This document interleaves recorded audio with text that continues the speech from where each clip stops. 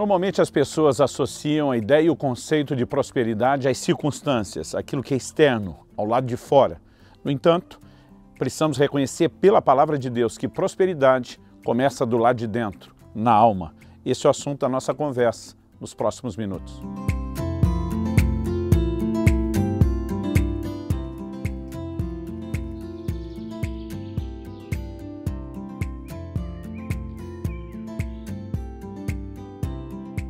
Gente, estou hoje no Lago de Como, na Itália, perto da fronteira com a Suíça, passando para trazer mais uma palavra ao seu coração.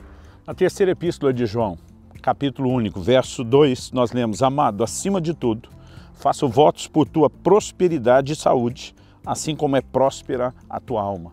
Outra tradução diz: Eu desejo tua prosperidade e saúde. Uma terceira tradução ainda diz: Eu oro pela tua prosperidade e saúde. Obviamente, o que temos registrado aqui é mais do que simplesmente o desejo do apóstolo por alguém a quem ele queria muito bem.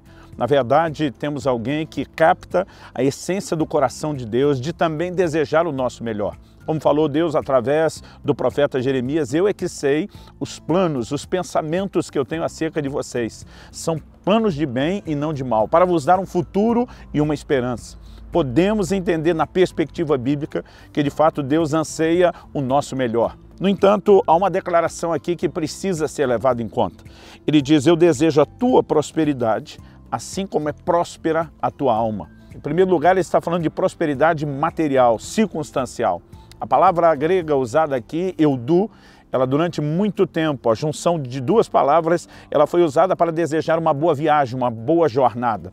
No entanto, naquela época as pessoas não saíam para fazer uma viagem de turismo, raramente uma viagem para visitar parentes, porque as famílias estavam juntos. A maior parte do tempo, essas viagens eram empreitadas de negócio. Então, ao desejar uma boa jornada, a pessoa estava não apenas desejando segurança e proteção para o viajante, mas que ele fosse bem sucedido nos seus negócios. E essa palavra Eudu, ela ganha a característica de prosperidade material e financeira. Em 1 Coríntios 16, quando o apóstolo Paulo está falando sobre contribuição e diz cada um contribua conforme a sua prosperidade, a palavra ali usada é eudu. Logo, ele está falando de prosperidade material e circunstancial. No entanto, ele estabelece uma condição. Ele diz: Eu desejo a tua prosperidade, assim como é próspera a sua alma. Em outras palavras, tanto quanto. Prosperidade deveria começar do lado de dentro porque João está escrevendo a Gaio, um homem hospitaleiro, coração de mãe, como dizemos no Brasil, alguém de uma alma muito próspera. Subentende-se que ele está dizendo: Eu desejo muita prosperidade do lado de fora, assim como você já tem muita prosperidade do lado de dentro. Mas se ele estivesse dirigindo alguém de uma prosperidade interior mediana, ele estaria então desejando uma prosperidade apenas mediana do lado de fora. Se ele estivesse falando com alguém de uma prosperidade interior muito pequena, então ele estaria desejando prosperidade exterior pequena, na proporção daquilo que se tem do lado de dentro. Em outras palavras, o que nós encontramos aqui como princípio bíblico é que prosperidade não apenas começa do lado de dentro, antes do de fora, como aquilo que se deseja para o lado de fora deveria ser sim proporcional e não maior ao que nós temos do lado de dentro. Prosperidade interior é um assunto bíblico importante que deveria fundamentar todo o conceito de prosperidade daquilo que falamos do lado de fora. No entanto, muitas vezes a nossa mentalidade é apenas focada nas circunstâncias, naquilo que acontece à nossa volta, sem entendermos o quão importante é a condição do nosso interior. Nós temos exemplos bíblicos de gente que prosperou do lado de fora, mas porque não tinha a devida prosperidade interior, acabou é, entrando num lugar, na verdade, de fracasso em vez de sucesso. Por exemplo, quando a palavra de Deus fala a respeito do rei Uzias, a Bíblia diz que ele buscou o Senhor e enquanto buscou o Senhor, Deus o fez prosperar. Mas segundo Crônicas 26 nos relata que, havendo se tornado forte, havendo prosperado, exaltou-se o seu coração e cometeu transgressões contra o Senhor. Há relatos bíblicos e na história suficientes para nos convencer de que é possível prosperar do lado de fora.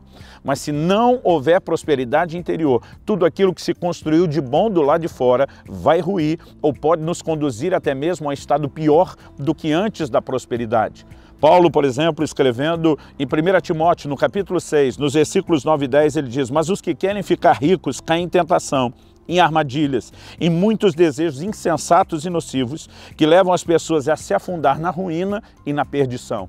O anseio de prosperidade externa, sem prosperidade interior, tem levado as pessoas à ruína. E diz porque o amor ao dinheiro é a raiz de todos os males. E alguns nessa cobiça se desviaram da fé e se atormentaram a si mesmo com muitas dores. Eu, como pastor há 25 anos, tenho assistido esse quadro se repetir na vida de muita gente. Gente que prosperou do lado de fora, sem ter prosperidade interior. E falo não apenas a respeito da capacidade de ter o contentamento em vez da avareza, da ganância e da cobiça, mas fala a respeito de ter uma fé fundamentada, de ter princípios e valores inegociáveis acima de qualquer possibilidade de sucesso exterior. Aquele tipo de valores da palavra de Deus que não se negociam, que não se comprometem. Quando desenvolvemos essa prosperidade interior, a prosperidade da alma, nós estamos, na verdade, criando um fundamento para poder construir a prosperidade externa. E não me refiro apenas ao elemento material e financeiro.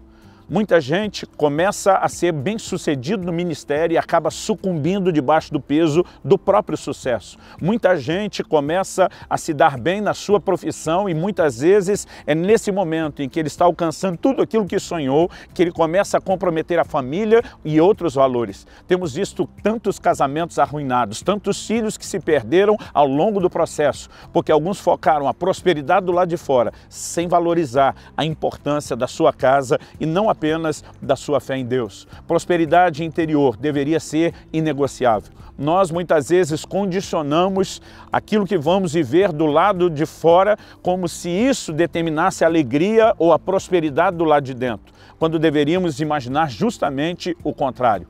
Essa ideia e esse conceito de que nós somos uma reação às circunstâncias é um conceito incompleto, ainda que bíblico, ele pertence somente ao Velho Testamento, como por exemplo, nas palavras de Agur no livro de Provérbios. Em Provérbios 30, nos versículos 7, 8 e 9, nós lemos: Duas coisas te peço a Deus. Não recuse o meu pedido antes que eu morra. Afasta de mim, número um, a falsidade e a mentira. E número dois, não me des nem a pobreza, nem a riqueza. Dá-me o pão que me for necessário, para não acontecer que, estando eu farto, te negue e diga quem é o Senhor, ou que empobrecido venha furtar e profane o nome de Deus. Essa perspectiva é mais ou menos assim, dependendo como as coisas estiverem do lado de fora, elas vão determinar quem eu sou do lado de dentro. Se eu estiver no estado de riqueza, eu posso me esquecer do Senhor. Se eu estiver no estado de pobreza, eu posso furtar e ferir os princípios que o Senhor estabeleceu. Então vai controlando as coisas do lado de fora para que nada desande do lado de dentro. Esse é o tipo de relato bíblico que nos mostra a oração que alguém fez, não a oração que eu e você deveríamos fazer. Tenho visto crentes orando dessa forma, como se a gente precisasse que Deus regulasse as circunstâncias à nossa volta para não afetar quem nós somos do lado de dentro. Essa não é a perspectiva bíblica para todo cristão, muito menos a realidade que encontramos no Novo Testamento. O apóstolo Paulo escrevendo aos Filipenses, ele diz: "Eu aprendi a viver contente em toda e qualquer situação". O que ele está dizendo? Minha realização interior não depende daquilo que eu enfrento do lado de fora. Ele diz: Eu sei estar contente, tanto na fartura como na pobreza, tanto na abundância como na falta. E é então que ele afirma: Posso todas as coisas naquele que me fortalece. Basicamente, ele está dizendo: Eu não preciso ser afetado pela circunstância. Eu encontrei forças em Deus que me regem do lado de dentro, que determinam o meu contentamento, independente do que eu experimento do lado de fora. Aqui nós temos a perspectiva de alguém que entendeu prosperidade e interior. E para quem entendeu e solidificou o seu relacionamento em Deus, os seus valores na palavra de Deus, aí já não importa o que está acontecendo do lado de fora. Até porque as circunstâncias positivas não nos farão mais fiéis a Deus do que já somos. E as circunstâncias negativas também não deveriam nos fazer infiéis ao Senhor. É lógico que de vez em quando vamos encontrar pessoas que, a semelhança da mulher de Jó, quando as coisas não estão bem, elas mudam completamente a sua forma de relacionar com Deus e dizem: amaldiçoa esse seu Deus e morre. Mas Deus seja louvado, porque ainda há gente que nos inspira, como Jó, a ponto de dizer para sua mulher: você fala como uma louca, a ponto de dizer ainda que ele me mate, eu louvarei. Quando nós temos alguém de prosperidade interior bem estabelecida, é inevitável que em algum momento do lado de fora as circunstâncias vão se alinhar com a prosperidade do lado de dentro No entanto, quem só encontrou ou alcançou prosperidade do lado de fora, sem desenvolver prosperidade do lado de dentro, ele muitas vezes, mesmo diante do sucesso na perspectiva externa, temporal, material, ele pode acabar sucumbindo e comprometendo aquilo que ele deveria experimentar ou viver em Deus na sua caminhada. Nós precisamos entender esse princípio. Quando o apóstolo Paulo diz, eu aprendi a viver contente em toda e qualquer situação, ele não está falando de algo que é automático, ele não está falando de algo que aparece simplesmente no dia da sua conversão, apenas por causa da experiência de conversão. Ele está dizendo que esse tipo de contentamento é algo que se aprende, é fruto de maturidade, de crescimento, é fruto de consolidar as verdades de Deus no nosso íntimo, de se permitir ser guiado pelos princípios e valores da palavra de Deus antes de qualquer decisão a respeito de como viveremos do lado de fora. Essa prosperidade interior que tem norteado homens de Deus, homens como Daniel, que não deixou de orar quando houve uma proibição e uma ameaça de punição do lado de fora, porque eles entendiam que prosperidade interior era mais importante que a exterior. Homens como os amigos de Daniel, Ananias, Misael e Azarias, que conhecemos como Sadraque, Mesaque e Abdinego, que não se importaram com a ameaça do rei de ir para uma fornalha de fogo ardente, porque tinham dentro de si os valores, eram norteados pela palavra de Deus e sabiam que não podiam se curvar diante de uma estátua. É gente como Daniel e os seus amigos, que vê Deus fechando a boca de leões, que vê Deus intervindo no meio do fogo e salvando e poupando a vida deles. É gente que prosperou primeiro do lado de dentro, que vê as circunstâncias mudarem do lado de fora. Se fôssemos tão ávidos na busca de prosperidade interior, como temos sido em relação ao sucesso do lado de fora em todas as áreas, estaríamos construindo há muito tempo uma história diferente, uma história de sucesso permanente e a longo prazo. Então, que Deus nos dê graça e que a gente corresponda e atenda aos princípios da palavra dele.